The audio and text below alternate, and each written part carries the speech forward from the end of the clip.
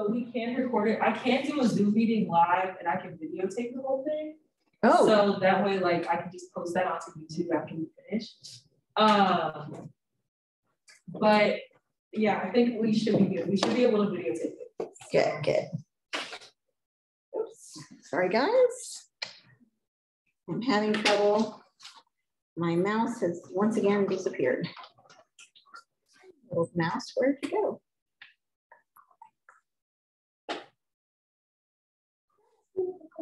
Um, how long is like the field day? So I'm guessing like an hour max. Probably Yeah. around an hour. It, it could be, if everybody's bored, it could be ten minutes. It's just gonna, I'm just gonna set up some equipment and we'll look at some fake hives and basically talk about what, you know, whatever questions people have. Um, it's not really a, a, a prepared presentation or anything. Awesome. Also, if anybody needs a ride or wants to carpool, I have a car and there's more people in there, so just email me, you know, PD transportation. Um, yeah. And it's only about two miles, so it's close enough that you can ride your bike or whatever. If we can't make this day. then it's not gonna, you know, Oh, yeah, you could like, then just, if you can't make this field day, that doesn't dictate if you can go to the. It's gonna still be kind of like sign up type thing, so regardless of whether you can go to the first field day, the second one is still gonna be open for anybody who wants to go. There's still gonna be a sign up, but it's not gonna be. And the second one will be on the roof of the FedEx building installing hives. So, um, And you will need PPEs for that one. There's gonna be lots of bees flying around everywhere. So. All right, so last week, we, we talked about everything sort of from a bee perspective, and now we're gonna talk about it from a honey, a beekeeper perspective. So before we delve in, I want you guys to close your eyes again and picture the inside of a beehive, right? You're in the hive, there are all these smells, there are all these bees brushing up against you. There's complete and utter darkness, right? That's your life. Suddenly, like there's this bright light, there's all this noise, and there's a beekeeper leaning over you, right? So when you go into a hive, you kind of have to start with that perspective that when you're looking down into the hive, the bees, it's basically like you pulled the roof off of your house. So if you were in your house, you know, going about your day, someone ripped the roof off and looked down on you, you might be slightly annoyed, right? So now we're gonna change our viewpoint and look down into the hive. So the role of the beekeeper is to understand the biology and sociology of the honeybee, and then to utilize that knowledge to achieve their personal goals. So as a beekeeper, you have to know what your goals are. And mostly people are like, well, I just want to have bees for my plants, or I just want honey. But even that, you're making definitive choices about how many bees you're going to keep, how much time you're going to spend, how many times you're going to split your hive, if you're going to move your hive. All of these questions are going to affect how you keep your bees. And if you put three beekeepers in a room and you ask them any question about beekeeping, you will probably end up with seven answers, all of which are probably correct, right? It's there's lots of ways to skin a cat, and there's lots of ways to keep a bee. And people will debate about it, and you can be around expert beekeepers and they will still argue about different things. Everybody has their own perspectives, and there's science underlying it, but there's also an art piece to it. So, if you're a beekeeper, these are some of your goals pollination, which, if you want to make money as a beekeeper, this is where you're going to actually make money.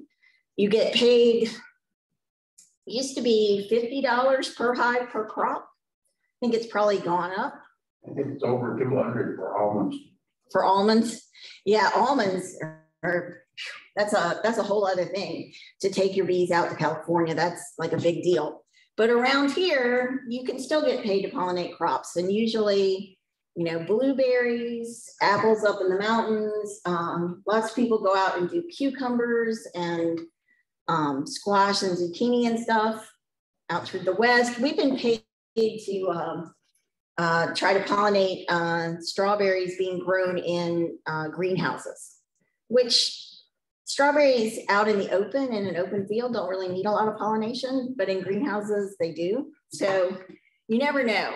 Um, there's a lot of, um, that's it. Like as a beekeeper, you're really not going to make money um, unless you start out with a lot of money and, and then, you know, uh, spend it all and then maybe you'll make a little bit. But uh, if you were going to make money, it'd be through pollination. Uh, obviously, honey production. Honey production is a big thing for me. I like making honey. I like giving honey to my family. I sell a little honey on the side. Um, gives you a little pocket money. The money I make on honey in no way offsets the money I spend on bee equipment. but um, um, but it's super fun and lovely. And it's lovely to have honey from your bees. So um, I know a couple that have a really successful beekeeping business and um, all they do, they go to fairs and um, different events and they sell products from the hive. So they'll sell honey when they have honey, but they also make soaps with beeswax in it. They make candles, they make hand creams. They have their own sort of logo. They have a website. They sell online. And so they're really looking at all of those different products of the hive. And then there are lots of people who make money uh, rearing queens and also um, making packages. Now, most of the package operations are in Georgia. They're looking to get those packages out to the beekeepers early in the year, so they need to be in a warmer place. And, um, and they're amazing. They're insane numbers of bees because the package has three pounds of bees in it. So they're pulling hives apart and shaking bees into these packages by the thousands. It's a, it's a crazy, crazy operation. But around here, there are people who rear queens. And if you can rear really healthy queens, um, you can get a lot of money for your queens. So, but it's a complex operation, requires a lot of detailed knowledge about beekeeping. So this is more about pollination services. You can see this is my old trailer. We're um, moving hives from one um, site to another. So this is a lovely thing. If you're if you're pollinating you have to move hives, you strap them down with um, ratchet straps, put them on a hand cart, hope they don't tip over, which they do sometimes. Um, but it's a lot of fun. So this is a list. We kind of talked about almonds a little bit. Almonds are only pollinated by honeybees. Almonds are a huge monoculture crop and you're talking about trees. So you're talking about acres and acres and acres where the only thing there are almond trees. So there's no ground cover. There's nothing else for native pollinators to live on. So bees have to be brought in by the thousands. Almonds without good pollination don't really produce any crop.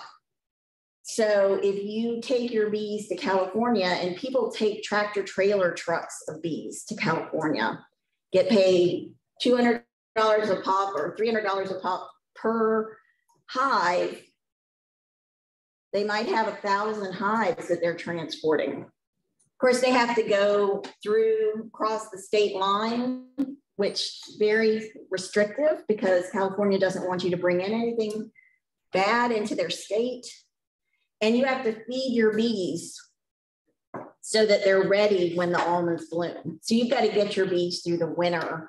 So most of those people keep their bees in Florida over the summer where there's plenty of nectar sources, put them on the truck. They usually make like a big loop across the United States. So cranberries in the Northeast, apples, blueberries we've already talked about, citrus crops in Florida, cucumbers and all the things that are sort of similar to cucumbers around here. lots of crops need pollination. These are just kind of the big ones that you're gonna make money on. So we're gonna talk about management.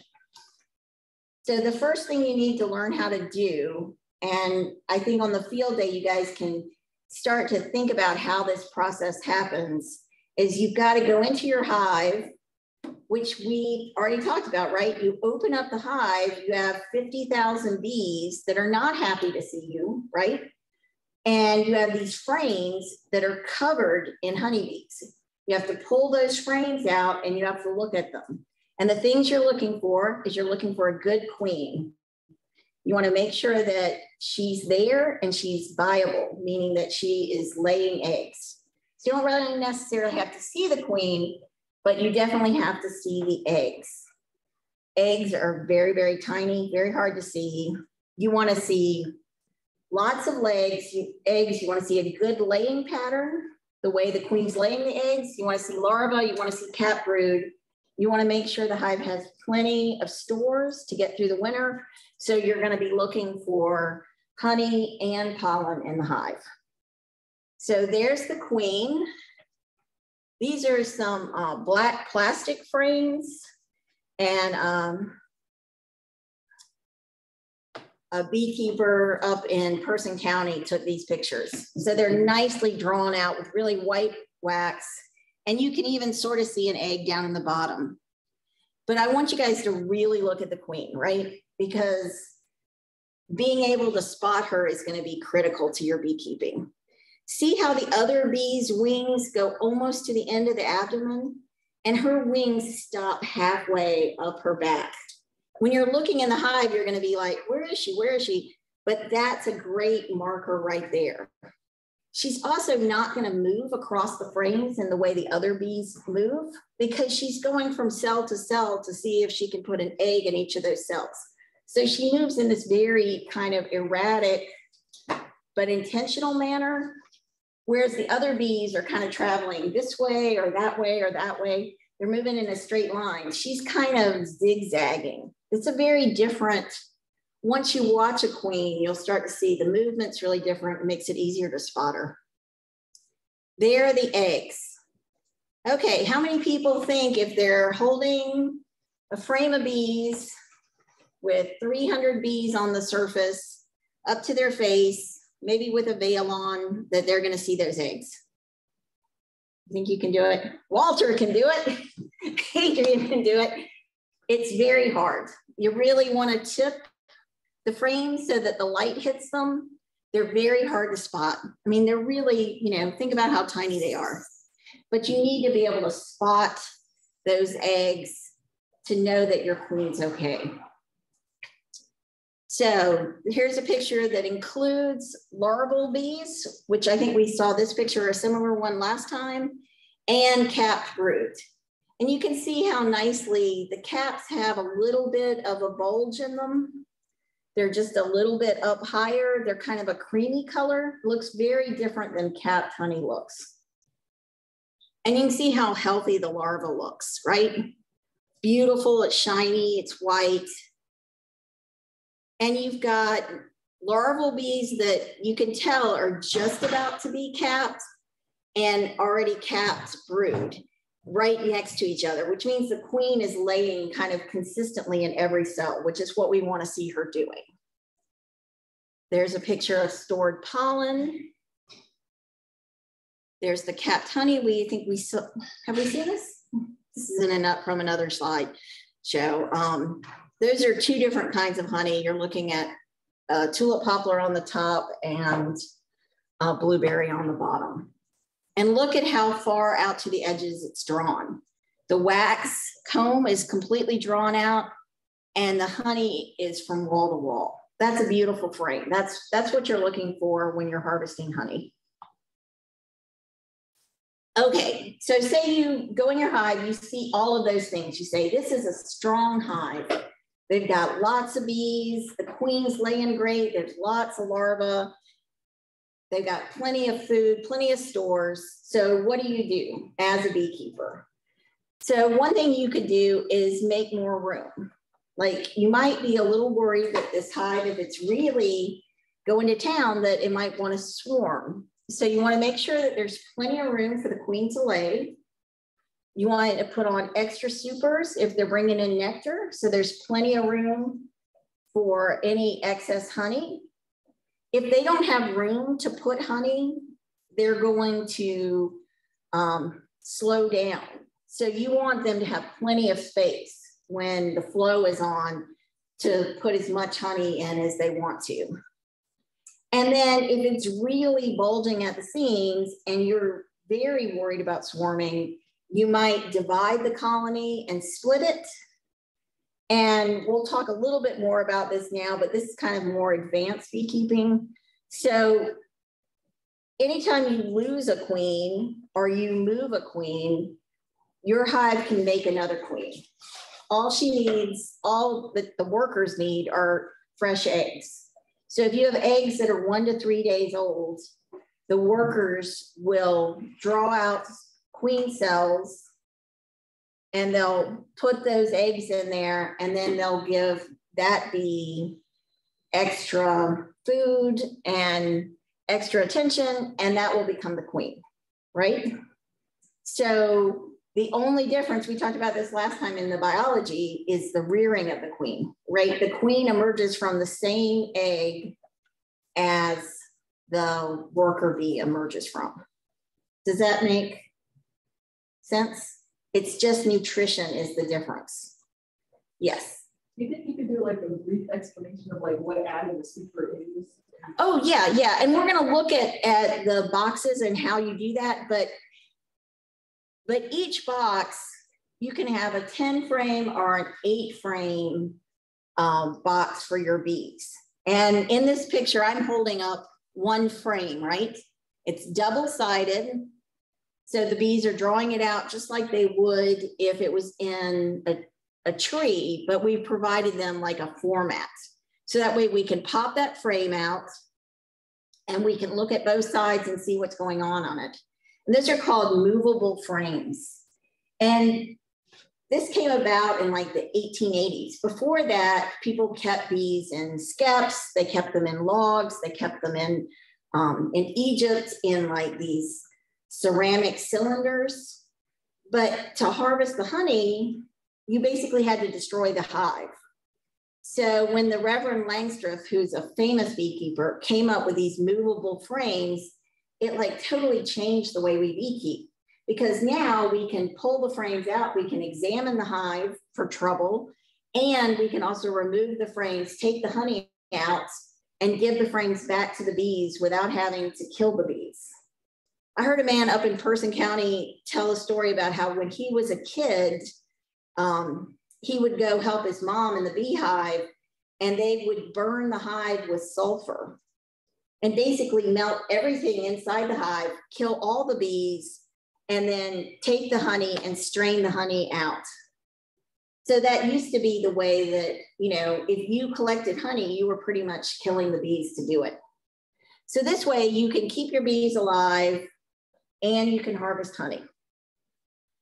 So, so I kind of got off the subject of queen rearing, but does that make sense? The queen is a fertilized egg, just like a female worker bee, the only difference is she's raised in a queen cell, which is larger, and she's given royal jelly, and her development takes longer than a worker bee.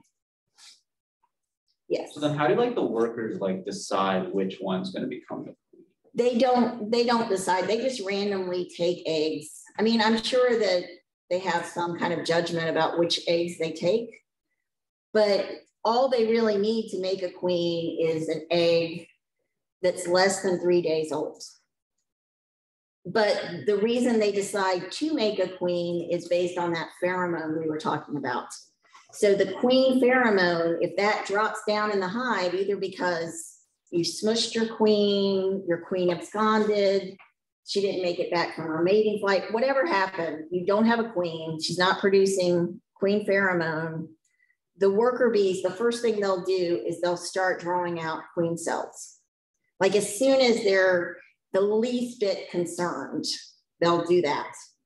And then they'll, you know, sometimes you'll go in a hive and you'll see a lot of emergency queen cells, um, but no eggs in it. It's just like they're being prepared just in case. And then uh, if they're really sure she's gone, they'll try to make a new queen. If they can't make a new queen and it goes too long without that pheromone, then they will start thinking they need to start laying eggs.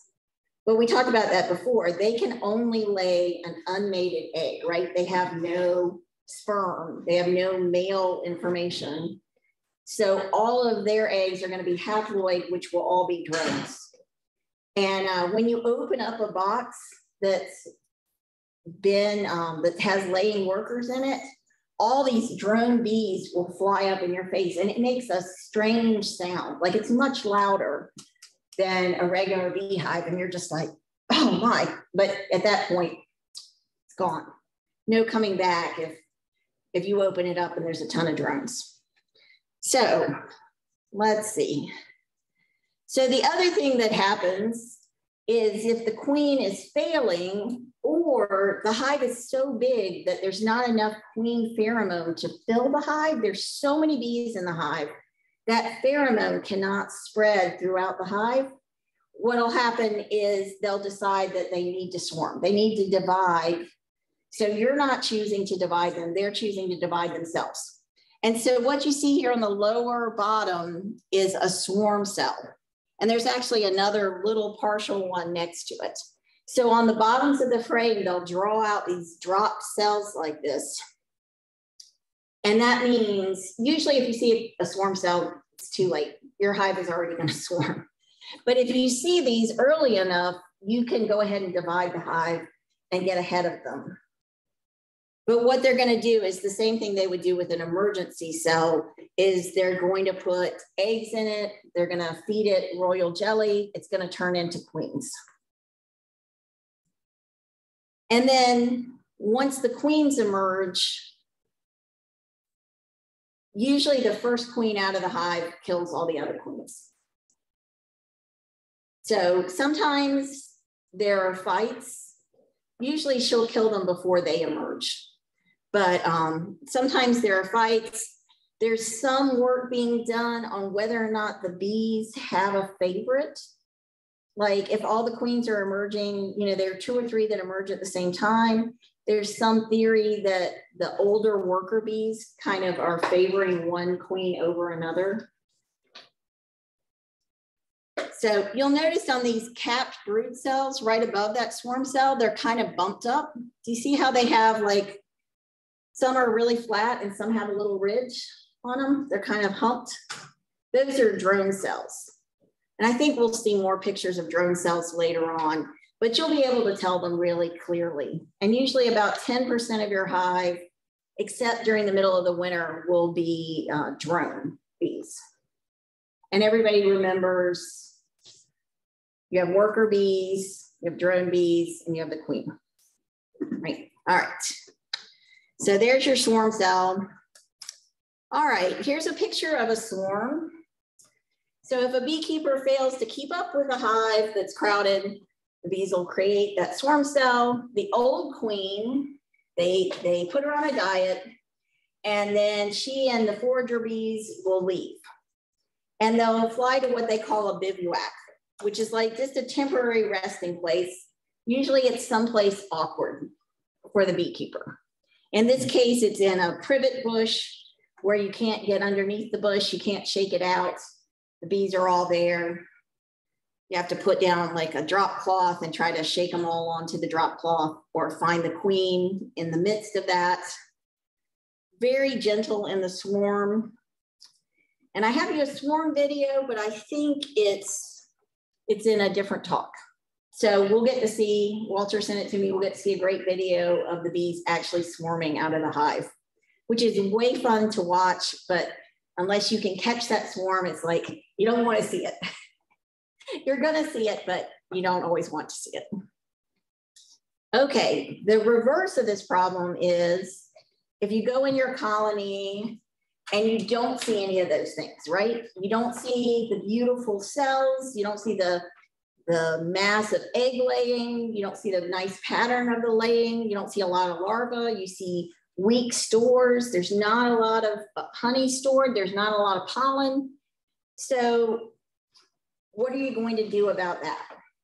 Well, the first thing to do is give them some food, like as soon as you can. Mix up some sugar water, put a feeder on it, get some food to them, reduce the entrance to your hive, because if you've got a weak hive and a strong hive, your strong hive in an hour, I've seen it happen in under an hour, they will come into that hive, they will take everything out of it, clear it out. You'll go in, there'll be nothing. I've seen a hive that was dying out slowly on someone else's property. They called me, they said, it's full of honey, but it's it's failing. Can we harvest the honey? And I'm like, yeah, let's get the honey out of there. By the time I got to their house, the other bees had come in, they'd taken every bit of honey and they were gone. So you wanna like put an entrance reducer and you're gonna look at those at the field day and um, stop those bees from robbing. So then you got to figure out why is this hive weak? So you want to test for pests and diseases, especially varroa mites. So if you can, you're going to want to do a sugar shake test to see what your varroa mite load is. And we're going to talk about all of that during our pest and disease talk. One of the things you can do really quickly is if you've got this strong hive, you can go over to that hive, shake the bees off of the frames and add be like add a couple frames that have larvae and eggs in it, add a couple frames that have honey in it, and you can just move them back and forth. As long as you're not moving bees, you can move frames that have material in them. Does that make sense? If you're you have a really weak hive and you want to combine it with a stronger hive, and you want to combine all the worker bees, you can't just move the worker bees over because these worker bees are attached to this queen and they're used to that smell. And these worker bees are attached to this frame and that smell, right? And so what you want to do is put a newspaper between them and do what we call a newspaper combine. And then by the time they chew through the newspaper, it's like two cats under a door they'll get used to the smell of the new hive and they'll be okay. But you can easily move a frame once you shake the bees off of it, a whole frame of brood, a whole frame of honey.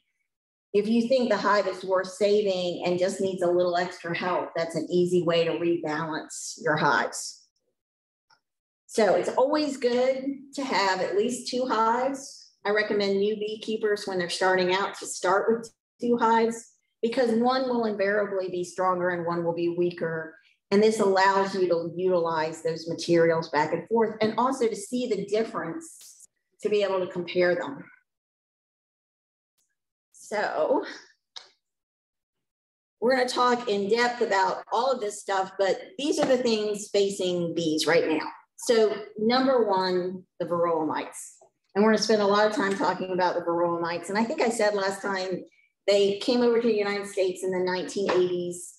They jumped from the Asian bee to the um, Apis mellifera. And in the Asian bee, they only affect the drones. So they're not a problem. They, they live together harmoniously. But here, they just, um, they go in all the cells, they weaken all the bees. So they're the biggest problem. So all of our hives I don't know anyone that has a hive that doesn't have some varroa mites. Now the question is, can you keep your varroa mites at a level that's low enough that they're not destroying the hive? So varroa mites, then nutrition and forage, and obviously development, lawns, monoculture, humans, we're all detrimental to bee forage. And climate change is even more because erratic weather is plays havoc on plant bloom times and the amount of nectar that's produced. So cumulative pesticide and miticide buildup in the wax of the beehives. We talked about this briefly last time, but most of what we find in beeswax when we test it for pesticides are the miticides that we ourselves as beekeepers have been treating the varroa mites with, right? So, so we're trying to keep that threshold down and we're using these pesticides and then the pesticides get into the wax and they build up and build up and build up. And then what happens is inside the wax, they'll react with other pesticides that the bees pick up and bring in. And those things can have cumulative effects that are really negative for the bees. And this is different than, you know, there are things that we use in farming that if you spray them on the field and the bees are on the field, the bees are all going to die immediately.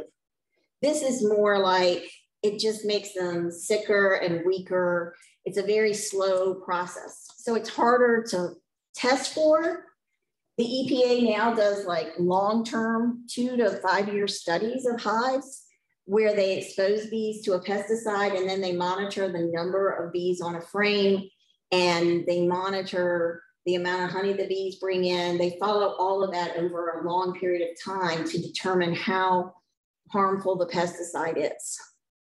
So poorly bred queens, we talked a little bit about the genetic bottleneck in the United States.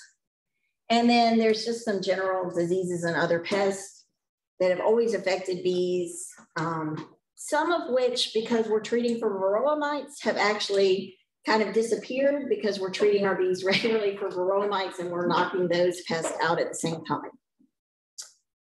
Okay, there's a varroa mite. So we'll look more at this, but it's basically like a tick. But if you think about the size of the honeybee, and if that was a tick on you, it would be a tick that was this big, right? So just imagine you have this tick attached to you that's like sucking the nutrients out of your fat cells continuously. And then jumping into the cells with your larva and doing that while they're trying to develop. So this is the bad guy. And um, we really have to be on our guard. Like a lot of times when you see hives fail, you might say they're failing because of this or that or whatever you see in the hive, but they're probably failing because the varroa mites have weakened them to the point that made them susceptible to other problems. Okay, weak stores we talked about. Um, some people feed their bees pollen. In North Carolina, it's rare that we have a shortage of pollen. If you're you know, if you're going to do a lot of pollination early in spring, you might feed them some pollen. You have to be careful. Um, since there's so much pollen around, if you feed them pollen and you leave it in the hive, it's going to attract hive beetles and it can cause other problems. But definitely sugar water. You're going to need, there's going to be moments where you're going to need to feed your bees uh, sugar water. So Here's an example of what happens when the workers start laying. The workers can't, you know, their abdomens are really short. So there's a worker laying right there, but she can't get her abdomen all the way down to the bottom of the cell. So she can't place one egg perfectly centered the way the queen will. So what you'll see is you'll see a whole bunch of eggs in the bottom of the cells. Can everybody see that? And that you don't want to see but it doesn't happen that often. And there's lots of things you can do before you get to this point. All right, this is a diseased frame. I think it might be American foul brood, but you don't need to know what the disease is to know that when you look at this, there is something really wrong, right? You can see how um, the tops, the cap cells have been partially opened up probably because the bees knew there was something wrong. You can see like the um, the bottoms of the cells kind of have gook in them. There's nothing healthy or alive in there. So here again, this is something that you really don't want to see. But in North Carolina, happily, we have the best uh, apiary inspectors in the country. And we have six, seven Eight. We have eight. I should know this. My ex husband is one. Um, they are great. Most states, South Carolina has one apiary inspector. We have eight, part-time, yeah, part-time. He can't, he's not even doing it full-time. So we have inspectors all over the area. Um, Don is uh, our inspector around here. And you can go to the North Carolina Beekeepers Association site and you can find out the name of the nearest inspector and you can call them and um, they will come out, look at your hives. If they can, tell you what's going on, advise you what to do. They're really great. They'll talk to you over the phone. They have trucks with all beekeeping equipment in it and they are they're on the road all the time, going from hive to hive. Just great, great people doing really great work, incredible beekeepers. So if you saw this in your hive, that would be what I would recommend you do. Like you might be able to determine that it's American foul brood, but really getting an inspector out to look at it is great. And Don came out and um, met with the bee club early on and uh, inspected all the hives. It was great. And maybe we can invite him back. Okay, so we're finally going to talk about the boxes, right? So this is, um, I just pulled this from the internet, but it's showing you the difference between the different boxes. So you've got the entrance at the bottom that the bees come in and out of. On the right, you have two deep boxes, one on top of each other. Now, most people, and it people really vary how they do things, they're gonna use two deeps, and then they're going to put a narrower super on the top. And for some obscure reason, there are some, there are supers, and then there are what we call mediums. And a medium is just slightly deeper than a super. And I always use mediums as my super. It can get very confusing, and there can, if you don't have equipment that all matches up, that can get very confusing because you go to grab a box. If you have, I used to have eight and 10 frame boxes you go to grab a box and it's the wrong size for whatever hive you're working on. So what this is showing you right here is the B stands for brood. And that's really where you want the queen. You want her down in your deep boxes and you want her to make this nice ball of brood in the center. The H's stand for honey super.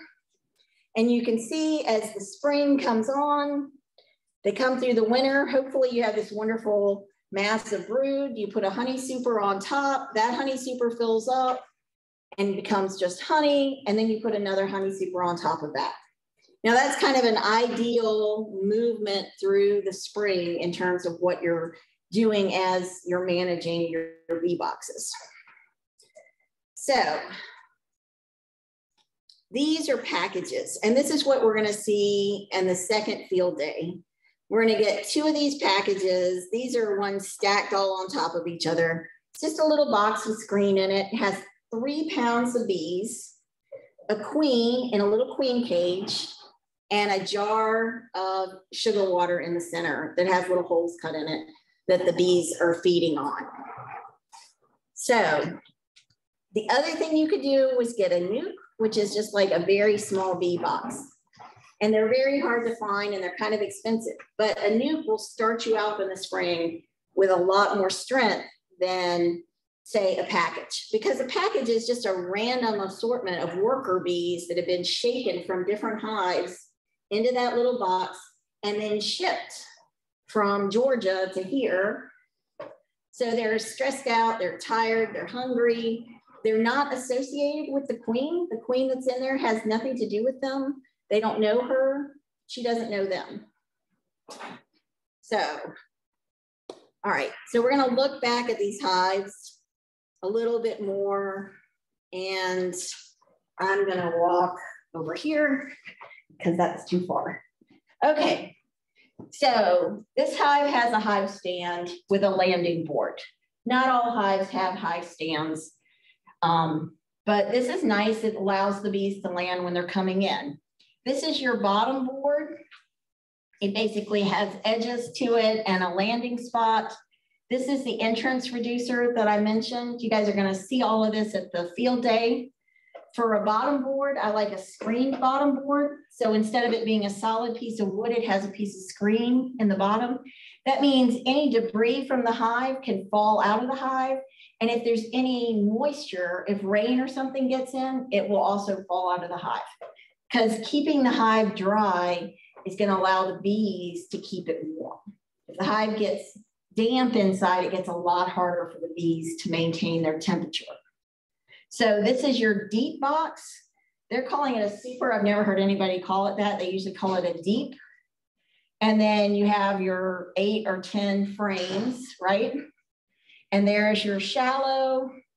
You have an inner cover. Some people use inner covers, some people don't. This is uh, helps with ventilation. And then you have your complete cover. And that's one that wraps all the way around. If you're transporting bees, you'll have like a transport cover that won't have two sides on it. And then this is a queen excluder, which some people use and some people don't. The goal of the queen excluder is if you're trying to collect honey, you don't want the queen laying eggs where you're collecting honey. So does that sort of make sense? Okay. And like I said, this on the field day, you're going to see all of this in person, get your hands on it, and that will be helpful. So the great thing about Reverend Langstroth is that this is what he created. And so it's wonderful. So if you have a small number of bees, you can reduce the size of the hive. If you have a large number of bees, you can increase the size of the hive.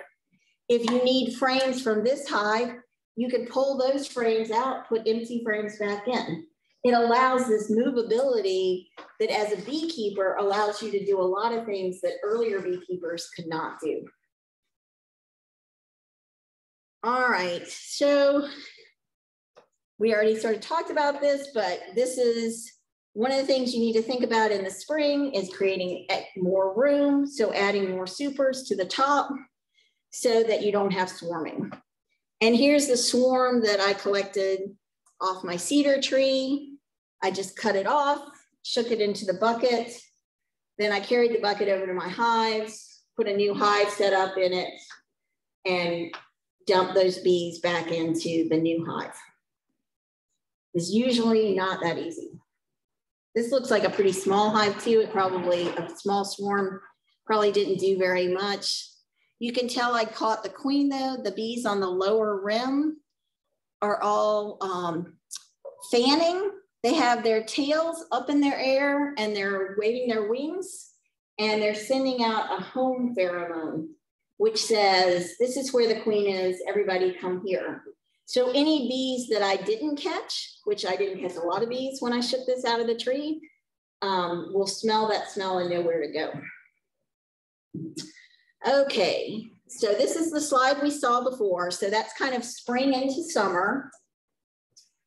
Now, these are my hives looking fairly messy and, uh, you know, at one time they were all painted matching colors, but now they're just sort of random.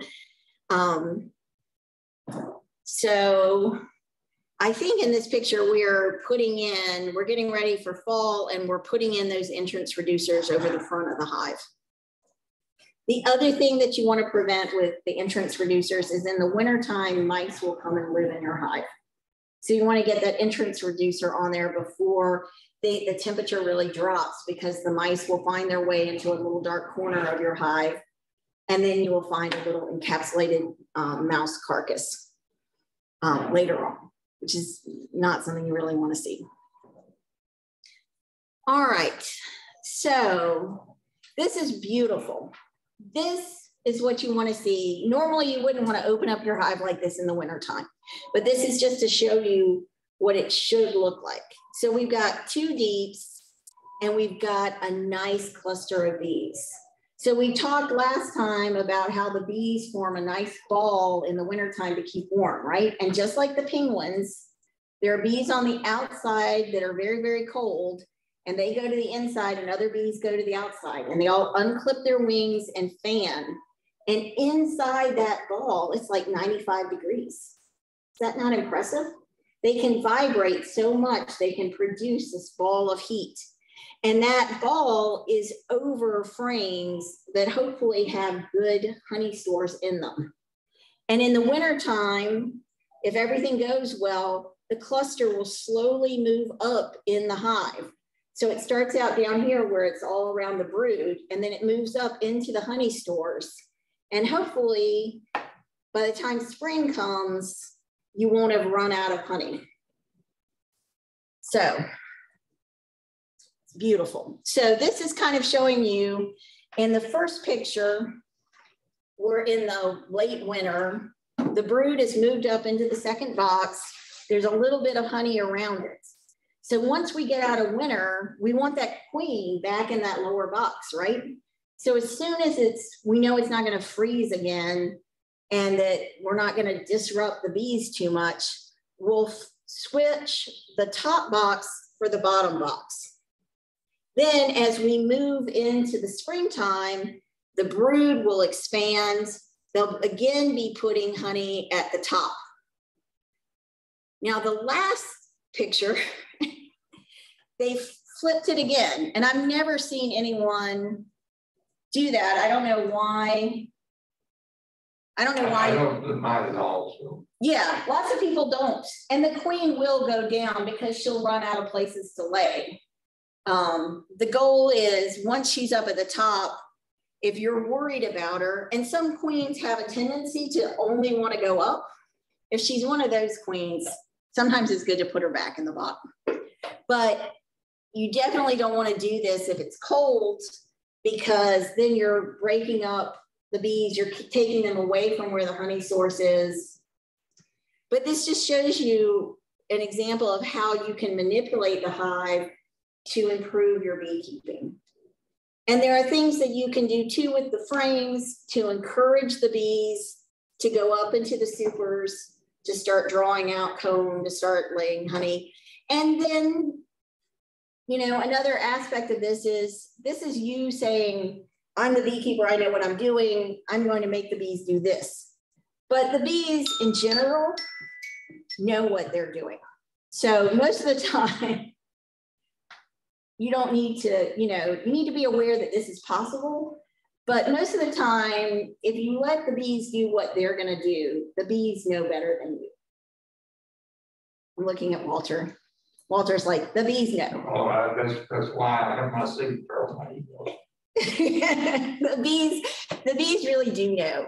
And um, and there are beekeepers who are really, really hands-on who will do all of this manipulation. And there are beekeepers who will do very little of it. And there are lazy beekeepers like me who don't do it. We think we maybe ought to do it, but we just can't seem to get out to the beehive to do it. So there we go. And the bees, you know, continue to survive. So harvest, here we go with the fun part, right? You've kept your bees alive for the first year. You've had a really good nectar flow in the spring, and then you get to harvest honey.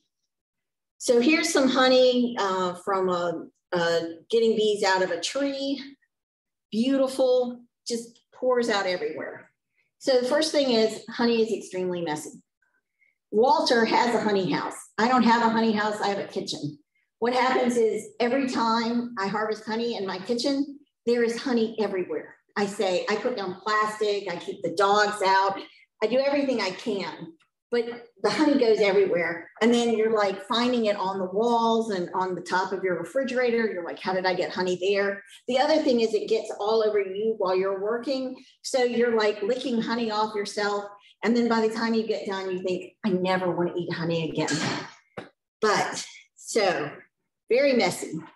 So the first thing you do is you get the bees to leave the supers. Like you go out and check your hive. You say, oh, I've got six supers that have good capped honey in it. You want the honey that's all the way capped. You want them to have taken as much moisture out of it as they can so that it won't ferment. And then you convince the bees to go out of those frames. And people do it different ways. Some people brush the bees off. I use uh, Bee Quick. What's the other one? Uh, honeybee go. Honeybee Go. um, I think- it's others. I think Honeybee Go is the one I don't like. I think Bee Quick anyway, it's a, you put it on a piece of felt on the top of the hive on a warm day. And the smell is something the bees don't like. So they, it drives them down into the lower frames. Then you can take the super off with very few bees in it, take it quickly inside. Because if you take a super off and you just set it somewhere, the bees will find it and that'll be it. No more honey. So you wanna make sure the queen is not up there. So maybe if you had a queen that likes to go up, you've put in a queen excluder to make sure she's in the lower hives. You've got your capped honey, you've got this nice box of it. It's 40 pounds.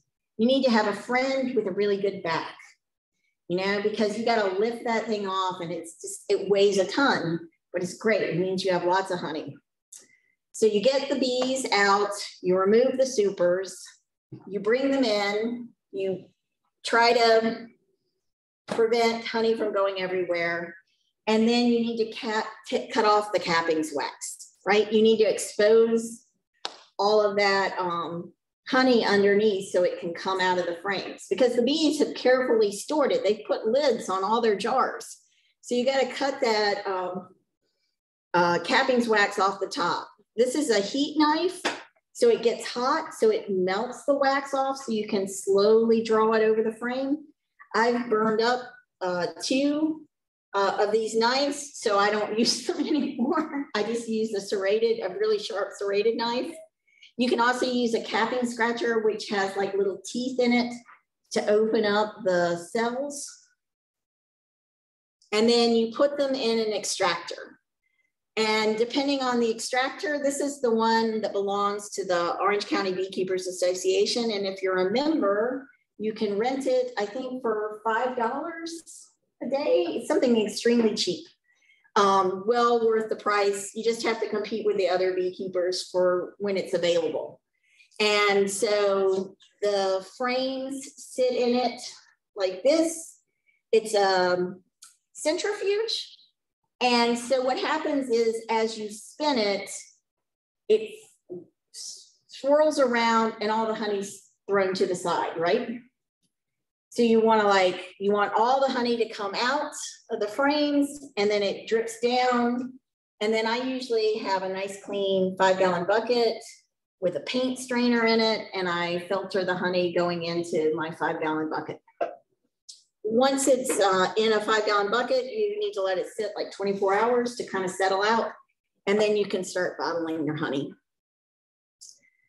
So um, there are lots of different kinds of honey um, and lots of ways to make honey. So as a beekeeper, that's the most simple is to just take the supers, draw out the honey and, um, and sell that or use that. But people also make comb honey where they cut sections of the comb out and put those inside the bottles. That's really in demand. Chunk honey or section honey will also have the wax in them. And then um, creamed honeys are honeys where they've been, um, it's like you heat them to, I've never made cream honey, but you heat them to a certain temperature and you stir them. Do you whip them? You heat it to 150 degrees, which melts any existing crystals in it. Mm -hmm. And then you mix in seed crystals. It's basically just cream honey that you already made before. Mm-hmm. And those seed crystals are real, real fine crystals. And they'll make that whole jar crystallize on the same pattern as the seed crystals are. So you wind up with real, real fine crystallized honey. Uh, you got to let it sit for like a week in a refrigerator because 55 degrees is the perfect temperature for it to crystallize. But you'll wind up with honey that's like the texture of an ICEE. That's the closest thing I can think of, but it's, it's real, real fine crystals. Um, so, so maybe, maybe the next class we meet in person, maybe I, I could bring some of my uh, regular honey. Maybe you could bring a little sample of your cream honey.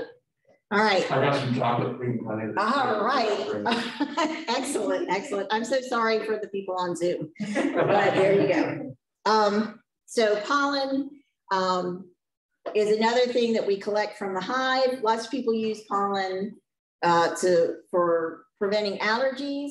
Eating honey that is harvested that the, the bees collected from plants, it has some of the plants in it that you're allergic to, will help with your allergies because you're getting minute portions of the pollen from that plant. So it's kind of like getting an allergy shot in a very small dose every day so your body adapts to it. So um, and and pollen, you know, lots of different people use pollen. So uh, you can put a pollen trap on the front of your hive that when your bees are walking into the hive, they have to go through a narrow entrance and that uh, drops the pollen off of their legs and then it drops into a collection plate. But you don't want to keep it on all the time because the bees need their pollen. So you just want to put it on for a little while, collect the pollen, and usually you have to store pollen in your freezer. It can get mildewy really quickly. Propolis, we talked about the bees using propolis to stick all of the hives together. And so um, lots of people use this medicinally because it's antimicrobial. And so you can see here we are with a hive tool, we're scraping it off the side of a frame. And in certain countries, people are really into propolis and where they are, they use like a plastic board that the bees fill in. You put it in the freezer, it's coated with propolis. When it freezes, you just crack that board and all the little pieces come off. So you can definitely, you know, you can harvest enough with your hive tool easily, but if you um, if you were going to harvest it for sale or for processing, um, you might want to use that other system. And beeswax. So we talked about the cappings wax, which we use for um, any kind of um, lip balm or hand cream or something like that. The old beeswax, like if you have a frame that breaks or the wax is getting old, or you're just messing in the hive and pieces, the bees have grown things, uh, they've drawn out the comb in a weird way. You're always getting pieces of beeswax.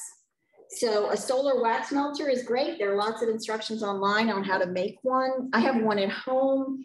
If you guys want to borrow it, we could bring it one day and set it up out on the rooftop and melt some wax from it. And then um, if you get into making things out of molds, you'll suddenly have like boxes and boxes of um, molds and all sorts of weird oils and scents and I don't know how much stuff I have uh, to do wax making because you kind of um, you creep into it and then the next thing you know you you uh, spent a lot of money. But it's great and it's great for presents. Like family members love to get things made out of wax, or at least my family members tell me that. I love my candles. I, I give away a bunch of candles, but I also use my beeswax candles and they're just beautiful and smell great. So, and royal jelly. So here is a swarm cell that's been broken open and you can see that creamy white substance. That's the royal jelly that's fed all the bees, all the larval bees get a little bit of it, but the queen is fed pretty exclusively with royal jelly. And there's lots of differing opinions about whether royal jelly is good for you. I will tell you that uh, I've eaten it fresh out of the hive. I really don't think I'll ever do that again. But um, but many people use it um, um, medicinally. The end. There's one other thing too that's not in your presentation. The, it's, it's, it's pretty new, it's just really getting going in the last couple of years, but there's a pretty good market for bee venom for, uh, uh, cosmetics. Yeah, I should have added that because we talked in the last talk a little bit about bee venom, but that's definitely, and I told you guys about the electric plate, right? The electrified plate. I know I started to last talk, I thought I did, but um, the way they collect the bee venom, right? So if the bee stings you, right, it dies. So if you're collecting bee venom, you don't want your bees to die. So they put a plate in front of the hive that has electric current in it. So when the bees walk over the glass plate, they get a little electric shock. And when they do, they sting the glass plate. But because it's glass, their stinger doesn't go in and they don't die, but they deposit a little bit of venom on the glass. And at the end of the day, you take the glass off, it's the venom has all dried on the surface and you scrape it off. And I know that Inga has told me the cost per ounce of bee venom, but it is some outrageous. It's like two hundred dollars per microgram or something like that. It is, it's, it's, uh, it's worth the work. So, and lots of cosmetics now, more and more utilize, um, especially like anti-wrinkle creams and things like that will have it. I think lip plumpers, things that make your lips plumper. It makes your skin swell is what, what happens. It's just like a bee sting, except it's it's more, it's less localized. So. All right, so questions from this week and from last week.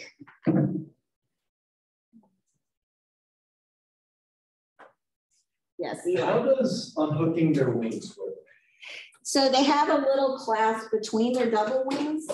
So if they had their wings together and they vibrated their wings, they would fly, right? So they unclasp their wings and then they just vibrate their wings. Right. And and we talked about that the thorax is all just a big series of muscles that operate those wings. So they just vibrate the wings. And if they're standing, if it's a warm day, they're on the top of the hive and they're standing over um, some water that they put on the top of the hive, that water will evaporate and the temperature will drop.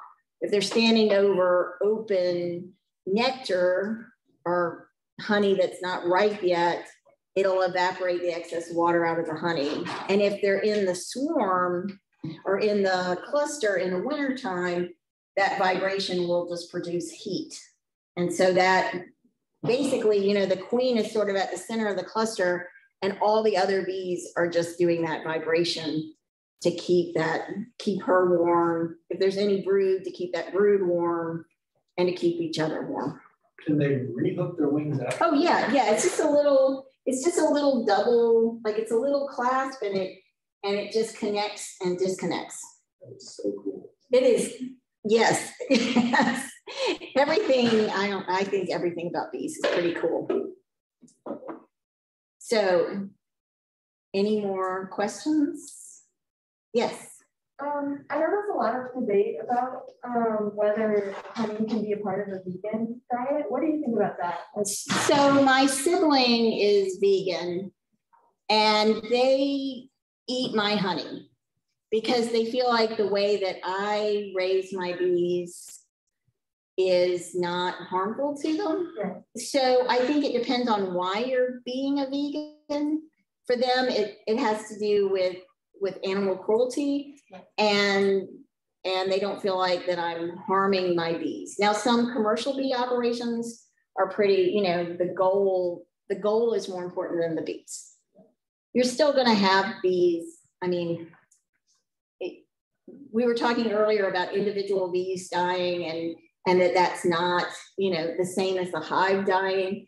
And I think you can be very sentimental about bees. And obviously, we want bees to survive as a species. And I think that having beekeepers is really important to that at this point in time, especially because of the varroa mites. So anyway, that's their choice. But but I know other vegans that don't eat any honey at all. Yeah. I also know like for our club, we harvested honey one time freshman year. It was just because our bees had died a really late like frost and then freezing rained out. It was horrible. Um, but it just wiped out our entire hive. Um, but there were honey stores. Um, and so like we did have a meeting where we harvested honey, um, just because like it was left over, and it was just sitting there. Right, right. Um, so we did have, we do have some meetings that are, for, um, and like kind of the opinion they gave was along the lines of like, well, in this case, like, you don't want it to go to waste. There wasn't anything that was done by us that kind of like caused the bees to die. And then like, it's all about how you take care of them. Like, that's another point I wanted to ask, like, in terms of when you harvest honey, I know that's very specific, but how do you know if your hive is strong enough and there's enough honey to harvest? Like, when do you know to stop?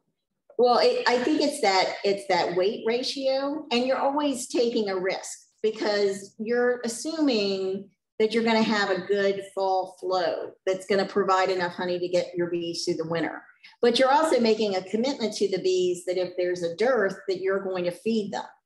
So I don't like to take all the honey from my hive, but if I have two deeps and those have some honey in them, um, and the hive is really strong, I don't feel bad about taking all the supers.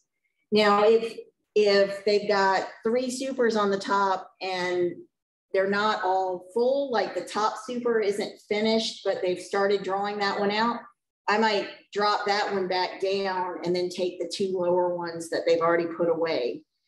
Um, you definitely want them to have a full super going into the winter. So, and there are beekeepers who never harvest any honey, you know, they leave it on the bees. So um, I think that's sort of a personal preference. But if you're taking honey, you don't take all the honey and you definitely have to be prepared to feed your bees. Walter, what percentage do you think of honey that you take that you call surplus? My own, just for me, I take all the supers and leave them whatever's in the hive. But that pretty much guarantees that I'm gonna be feeding them some sugar during the dearth in the middle of summer. Yeah. If you wanted to you know, my goal is to sell the honey and make some money off of it and kind of offset the costs of keep it bees. If you just don't care about the money, um, then you could leave your honey on the hive all summer long, harvest whatever excess is there in the fall, which probably won't be any, building up all that all that honey during the summer. Right. And and then you're probably still gonna have to feed them in the fall because they didn't make enough honey in the spring to last them all year long. Right. Um, but that would be a way to to give them more of their own honey. Uh, and, and you know, if there's still a bunch of honey left in the fall, you could leave them like one super and then take whatever else is there to sell it. Yeah. I would rather let them eat sugar syrup because sugar costs what, forty cents a pound, thirty cents a pound? Honey is twelve dollars a pound. So I would, I would, I would rather let them have this, this, this sugar. But that's just more of a business philosophy. Right. Um, if, if you just want to raise the bees and you're not selling the honey anyway, let them keep the honey all summer long and just harvest whatever extra in the fall. Because if there's too much there, you're gonna have to harvest it. They'll, they'll drown in their own honey if you leave too much on the hive. Yeah, yeah. You can definitely, it doesn't happen very often, but you can honey bound a hive where there's no room for the queen to lay because they filled up every available space with honey. And then the queen is looking for open cells to lay in. So it doesn't happen very often, but it's something that can happen. Yeah, So, if you're gonna let them keep all the honey, you have to have a lot of equipment available to be sure that you have plenty of empty, empty supers to put on that hive. Because sometimes you might need six or seven supers on a really good year. You might need six or seven supers and they'll fill all of them up. yeah, in a good in a good year, it's amazing how much honey they can make. And in the fall, they can make it. If we don't have a drought in the fall and the temperatures aren't too high, we can have a really good fall flow. Um, so they can get plenty of honey for the winter most years, as long as there's not something doesn't go awry. So I think we're, are we good? Is everybody good? And so next week we won't meet. I have a training in Raleigh. Uh, we'll be at Walters. Um, the people that have signed up for the list, you'll get the address via email. Adrian, is that? Yeah, and then for anybody who's on Zoom, that email is also gonna come out too. So right now we have like about six people signed up, so there's still six spots who are guaranteed to go if weather is bad, and then there's still uh, a good like ten or so spots for, uh, people who wanna go and go in. And if you don't go in person, you'll be able to watch the video on Zoom. Yes. And then we'll be back in class. Yes. And Yeah, and masks will then- be optional at the field day if it's outside. If we are inside, masks are gonna be mandatory. Makes perfect sense. Well, hopefully I'll see some of you guys next Saturday.